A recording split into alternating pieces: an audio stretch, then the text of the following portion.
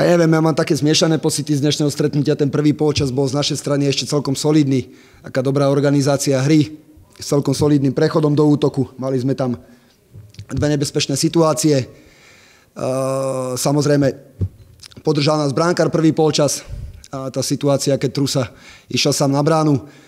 Ale myslím si, že potom, potom polčas asi taká zaslúžená remíza a potom druhý polčas e, sme začali byť veľmi pasívni tam, tam nám prakticky absolútne to, čo nám fungovalo prvý polčas, taká dobrá organizácia, taká, taká tá dobrá prechodová fáza, e, z čoho sme, z čoho sme vychádzali do takých uh, svojich, svojich situácií, nám vôbec nefungovalo a, a Dunajska pritlačila, mala, uh, mala veľa štandardných situácií a uh, nakoniec uh, z, jednej, z jednej aj skórovala a uh, my už potom, potom sme nemali takú, po tom gole takú dostatočnú kvalitu na to, aby sme s tým zápasom uh, niečo urobili.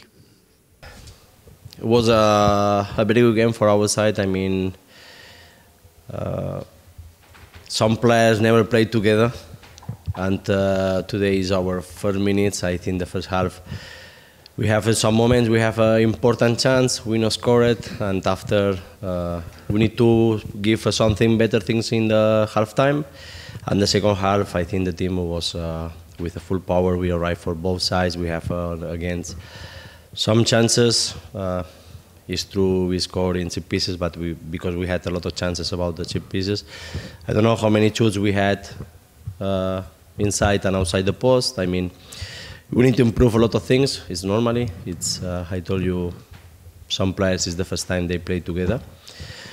But the most important for us is uh, the, these three very important three points we need to keep. We have one week more for us, and we are thinking for the next one. I mean, we need to have a little bit patience with the new players because they arrive, someone no is fit. They only stay maybe one week working, work it, and uh, but I'm happy with them. I mean, one of the things we need is to have a more control the game. I watch the game what uh, I want only 10 minutes today. And these 10 minutes I think we need for the next one our big chance of being objective is to try the the play this level 25 35 45 and after have the control of the game. I mean step by step three important uh, three points a lot of things for try the the improving and one step more forward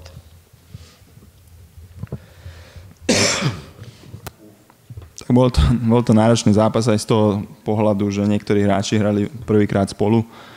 A, takže ten rozbeh bol troška ťažší a náročnejší, ale mali sme aj už v prvom polčase nejaké momenty a, a šancu veľkú, ktorú sme ale nepremenili, tak sme cítili v polčase, že treba niečo tomu mústvu dať, nejako troška usmerniť a myslím, že v druhom polčase sme mali prevahu, mali sme tam šance aj po štandardných situáciách a z jednej sme strelili gól, a mali sme veľa striel, neviem koľko, na bránku, aj mimo bránku.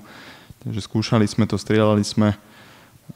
Samozrejme vieme, že sa potrebujeme ešte posunúť, ale aj sladom na to, že teda niektorí, ako som spomenul, hrali prvýkrát spolu, niektorí naozaj sú tu len pár dní, tak najdôležitejšie v dnešnom zápase bolo, aby sme získali tri body, to sa nám podarilo a máme teraz ďalší týždeň na to, aby sme spolupracovali a už, už mysleli na ten ďalší zápas Myslím, že treba byť ešte trpezlivý, hlavne s tými novými hráčmi, pretože sú tu len krátku dobu. Ale čo si uvedomujem, že potrebujeme tu, ten, tie zápasy alebo ten zápas viac kontrolovať, ten priebeh.